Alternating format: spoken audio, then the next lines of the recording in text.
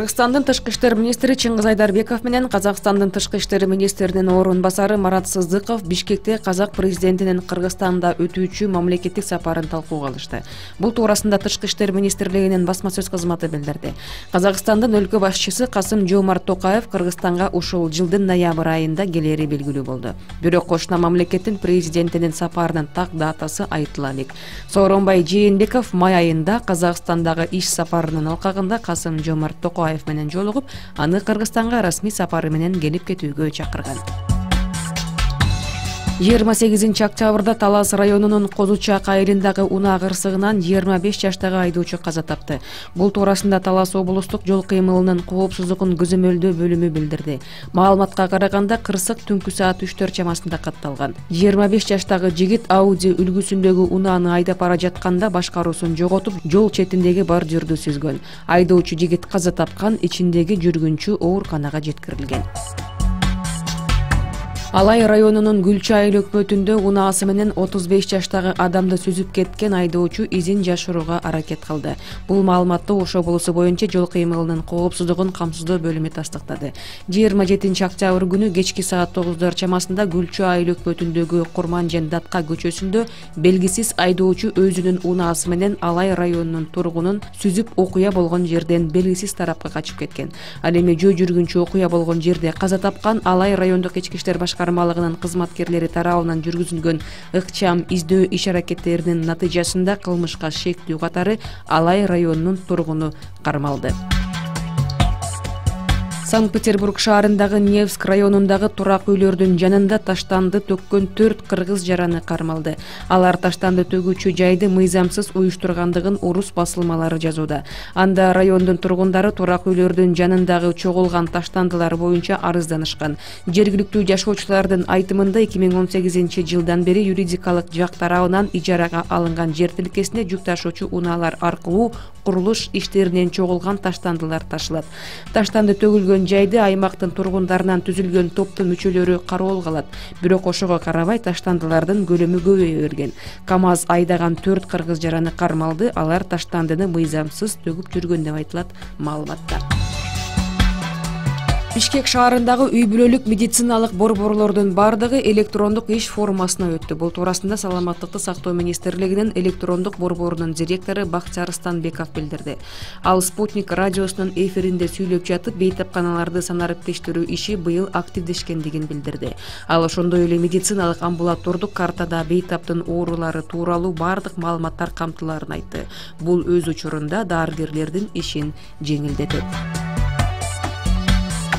жыйырма сегизинчи октябрда кара бура районунда тиешелүү документтери жок. Үч тонна бензин ташып бара жаткан мерседес бенс үлгүсүндөгү унаанын айдоочусу кармалды.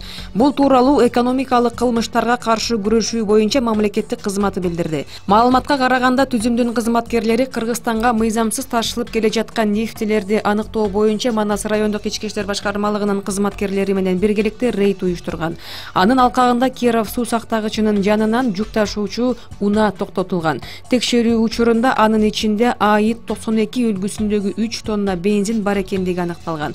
Бирок ага тиешелүү документтери жок болуп чыккан. Азыркы учурда мыйзамсыз ишкерлик кылгандарды аныктоо боюнча аракеттер көрүлүүдө бишкек шаарынын калык акиев көчөсүндө honda одиссей унаасынын салону өрттөнүп кетти. Бул туурасында өзгөчө кырдаалдар министрлиги билдирди. Учурда өрттүн себептери такталууда. Бир күн ичинде өлкө аймагында он беш өрт кырсыгы катталды бул туурасында өзгөчө кырдаалдар министрлиги билдирди. Токмок шаарынын жантаев көчөсүндө газель унаасынын кыймылдаткыч бөлүгү күйгөн. Ат башы районунун баш кайыңды айылында турак үйдүн короосунда жыйылган сегиз жүз түк чөп күйүп кеткен. Өрттүн чыгуусуна балдардын от менен ойногондугу себеп болгон свердлов райондук сотунда бишкек жылуулук электр борборундагы модернизациялоо тууралуу кылмыш ишин кароо уланууда. Бүгүн улуттук энерго холдингдин мурунку башчысы айбек алиев жылуулук электр борборун модернизациялоодо кеткен каражаттын чыгымына кайрадан экспертиза жүргүзүүнү өтүндү. Судья өтүнүчтү четке кагып кыргызстанда тиешелүү эксперттер жок экендигин айтты. Бүгүн соттук отурумда айыпталуучулар суракка алынат. Биринчи болуп мурунку өкмөт башчы сапар исаков сурак берет мурдагы өлкө башчы алмазбек атамбаевдин кеңешчиси икрамжан илмияновго сотто акыркы сөз берилди. Ал күнөөсү далилденбегендигин айтып судья дамирбек назаровдон акыйкат чечим чыгарып берүүнү өтүндү. Иш бүгүн бишкек шаарынын октябрь райондук сотунда каралууда. Адвокат ушул отурумда өкүм чыгышы мүмкүн экендигин билдирди. Ага башкы прокуратура жазык кодексинин негизинде иш козгоп жеке компаниялардын биринен бир жүз элүү миң доллар акча алган деген айып койгон. Мурдагы отурумдарда прокурор илмияновдун күнөөсү толук далилденгендигин билдирип жети жарым жылга түрмөгө кесүүнү сураган. Мындан тышкары кошумча жүз эсептик көрсөткүчтө айып пул салууну өтүнгөн. Акыркы төрт жылда он бир завод ачылып алты жүзгө жакын адам жумуш орду менен камсыз болду. Бул туурасында бишкек эркин экономикалык аймагынын аткаруучу директору бурадил бакашев марал радиосуна берген маегинде билдирди. Анын айтымында бишкек эркин экономикалык аймагында эки миң алты жүздөн ашуун жумушчу иштеп жатат. Ошол эле мезгилде беш жүз жумушчу орду бош турат. Ал белгилегендей бишкек экономикалык аймагы өткөн жылы баардык салыктарды кошкондо мамлекетке алты жүз алтымыш жети миллион сом салык төлөгөн. Өлкөдө беш эркин экономикалык аймак бар. Анын ичинен бишкек экономикалык зонасы гана өндүрүш чыгаруу менен алектенет. Бишкек шаарынын октябрь райондук соту икрамжан илмияновду жети жылга кесип бир миң алты жүз эсептик көрсөткүчкө айып пул салуу менен үй мүлкүн конфискациялады. Өкүм бүгүн чыкты ишти судья дамирбек назаров карады. Ал жазык кодексинин негизинде өзгөчө ири өлчөмдө жасалган алдамчылык менен күнөөлүү деп табылды. Илмиянов акыркы сөзүн сүйлөгөндө күнөөсү далилденбегендигин айтып акыйкат чечим чыгарууну өтүндү. Журналисттерге кыска комментарий берип адвокаты кийинки инстанцияга кайрылаарын билдирди. Икрамжан элмиянов эки миң он сегизинчи жылдын жыйырманчы октябрынан бери улуттук коопсуздук боюнча мамлекеттик комитеттин убактылуу кармоо жайында отурат ош шаарындагы барысбек айланпасында жол кырсыгы катталып эркек адам каза тапты. Окуя бүгүн эртең менен саат ондор чамасында болгон. Даф үлгүсүндөгү жүк ташуучу унаа жол ортосунда турган жаранды байкабай сүзүп алып маркумдун баш мээси чачырап кеткен. Сүрөттө унаа күн батыш тарапка бара жаткандыгын байкоого болот. Ош шаардык жол кыймылынын коопсуздугун камсыздоо кызматы кырсыктын себеби жана каза тапкан жарандын өздүгү такталып жаткандыгын билдирди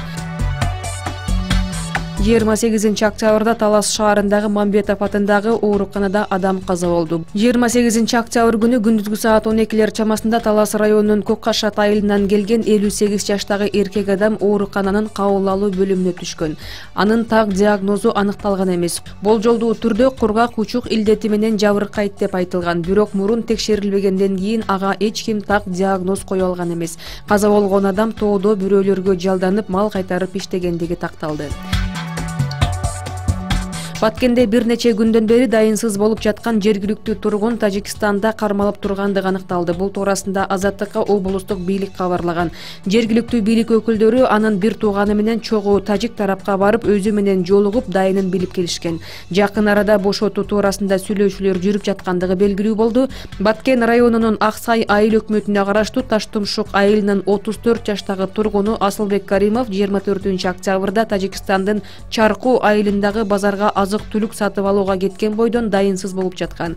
Анын жакындары жыйырма алтынчы октябрда тажик тарап менен сүйлөшүү жүргүзүп маалымат алуу талабы менен ош исфанат жолун тосууга аракет кылышкан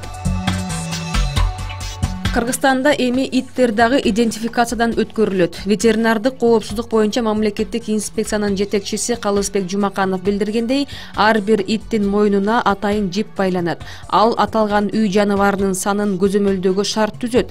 Эгер иттин мойнунда атайын жип жок болсо ал ээси жок деп эсептелинет. Идентификациялоо процесси ушул жылдын аягына чейин жыйынтыкталат